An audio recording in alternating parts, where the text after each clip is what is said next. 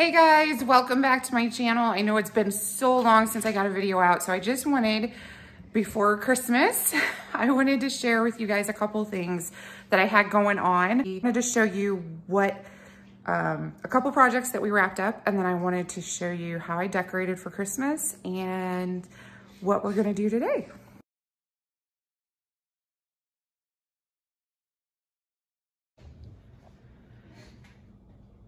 So this year we decorated with three trees. This one I actually won from an online auction at one of our local antique stores. And she had it decorated almost exactly like this. All I had to do was take a picture of it and then bring it home and stuck it pretty much back together the way she had it. But I love, I've never fluffed a tree like this one. So we just did a, the same topper that she had.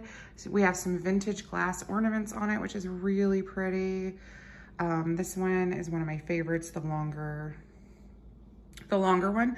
And then we did some sprigs and some berries that she already had in there. And so far, oh, and the pears, look at that, guys. How cool is that? Apples and pears and berries. But anyway, this one, it turned out really, really good. I'm still didn't, I still have holes. I can see them really good now on camera. So, but this is one of our three trees this year. We would have had four, but we never did make it out because of the storms. We never did go into the woods and cut down one. So, okay, so I love my fireplace. This is my big fireplace in the living room downstairs, right off of the dining room. I've been waiting for my mantle to be installed. We have stockings out. I am not gonna wait any longer for the mantle to get hung. I can't do it myself because I'm terrified I'm gonna break the stone. It's just like, um, it's like, I don't know how to explain it. It's not like a solid stone. It's like a facade. I said that wrong again. I said facade. Facade. It's a facade. I'm tired. Um, anyway, there's some old nails and stuff up here that they had stuck in between the joints. I just, I'm terrified I'll mess it up, so I have to wait. But instead, here's what we're gonna do. We're gonna use command hooks. And these are the only ones that I could find in the store. I don't have time to order any, so I'm hoping that they'll hold the stockings. If not, they'll be laying down. Okay, so we're gonna do this real quick.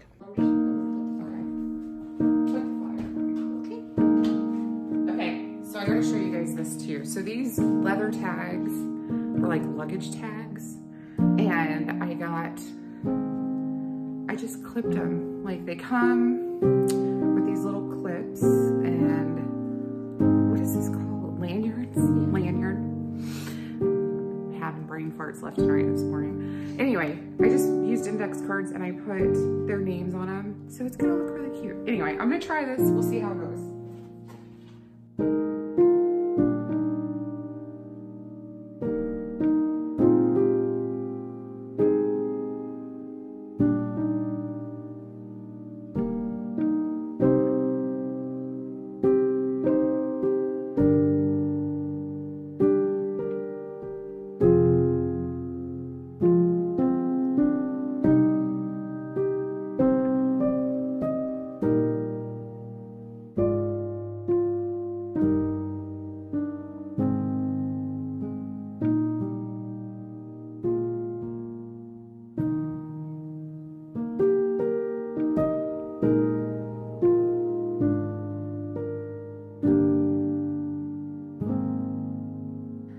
Next, Ava's going to show you guys how we put our slip covers over the dining room chairs this year. Now, I have had this table and set for a little bit, but I don't really like the chairs. So slip covering them is the next best thing. And it works really well. It's super easy to do and it looks really pretty when it's all put together. Okay, so next I'm gonna tackle cleaning the kitchen, which is a complete disaster. Isn't that right, Max? Okay, yeah, so I'm gonna tackle these dishes real quick and then we'll start cleaning up and decorating the kitchen.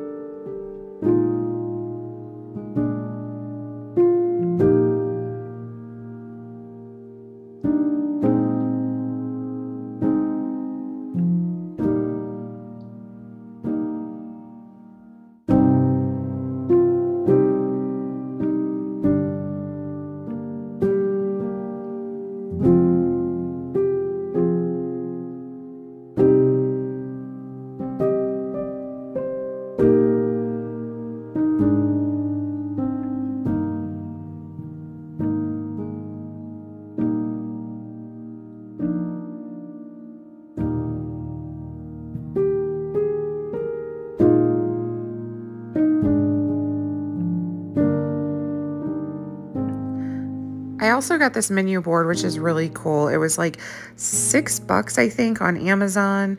And I love using it, but the markers take a while. So you'll see me kind of blowing on it. They take a while to show up on the board. So that's the only drawback.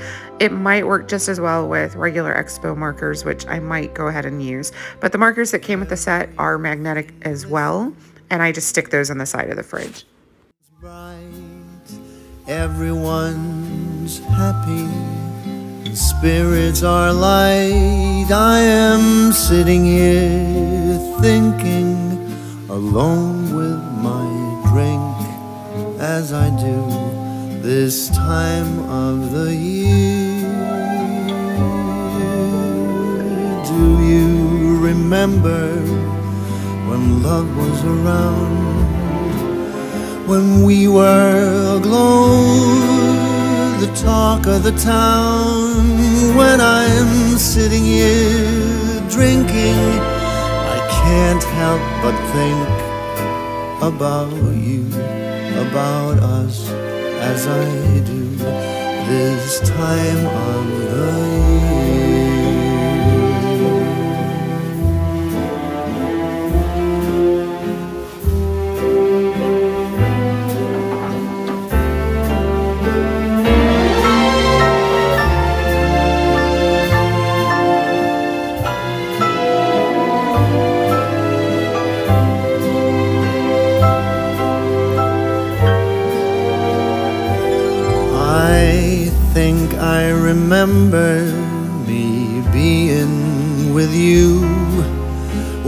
Just a dream that never came true? I am sitting here sinking, drink after drink, as I do this time of the year.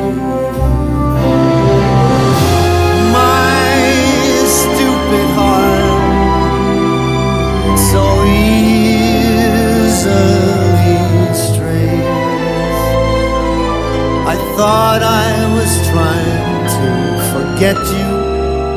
I must have forgotten. I did do a Walmart pickup order. Um, we live outside of the delivery area, so this is what it looks like when we bring home a pickup order. I'm not going to clean the fridge, do like a big clean out like I normally do, because I really just picked up snacks and things for the kids to munch on kind of throughout Christmas break for those two weeks that they're off remember we used to be near. You don't recall, you forgot as I'd feared. I don't blame you if memory fails you, but I must admit I am thinking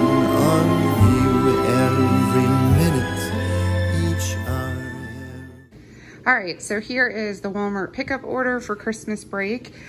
I wanted, I wanted to do this earlier and I don't remember why we didn't, but yeah, so we're running really late this year and I'm really grateful to everybody who's hanging in there and working these crazy holiday hours. So anyway, Nutella. For Nutella sandwiches, I had to get two bags of Doritos Cool Ranch because they were out of nacho cheese. I got a couple boxes of Hot Pockets some cheese danishes and Pop-Tarts. These are just um, the Walmart brand, great value. So that way it's easy for breakfast. I got um, a big pack of yogurt. I got some Hawaiian sweet rolls for Christmas dinner. These things are awesome. If you guys haven't tried these yet, these Ritz's Crisp and Thins, they are amazing. Um, I wish they were in a bigger bag because they eat go so quick. Pizza rolls and of course cheeses. So this big box hopefully will last our big family at least a week. Um, I had to get some more Colby Jack shredded cheese. That's pretty much my go-to for everything from tacos to just anything. Um, I also got a smoked spiral ham and it comes with a brown sugar glaze pack. That'll be for Christmas dinner. Some more bagels, bread, some hamburger buns for Sloppy Joe's one night, Cheetos. I got one thing of sweet potatoes because we're just gonna do a small Christmas dinner, just the family in the house. cheddar little smokies. We do pigs in a blanket with these and they love them. I got some Alfredo sauce, some V8 Splash. The kids love that. French bread for pasta nights, some granola bars, instant potatoes, which are just for um, green bean stuff, which we're gonna have tonight. And then fruit snacks for the little one, more cream cheese, spray butter. Um, I've been getting these logs of ground beef just because they're more affordable.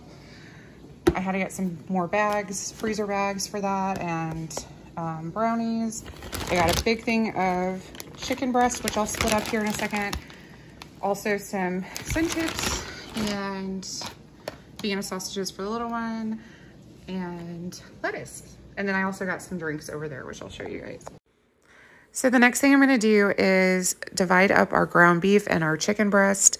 These are kind of staples in our home when it comes to easy meals, especially with the crock pot. I use the chicken breast in the crock pot a lot. But what I'll do is divide up the ground beef into one and two pound increments. I'll roll those out with the rolling pin so that they're flat. I'll zip up the bags and freeze them laying flat in our deep freezer. And then I'll stand them up once they're completely frozen so that they make even more space. And I really found that this method just works the best.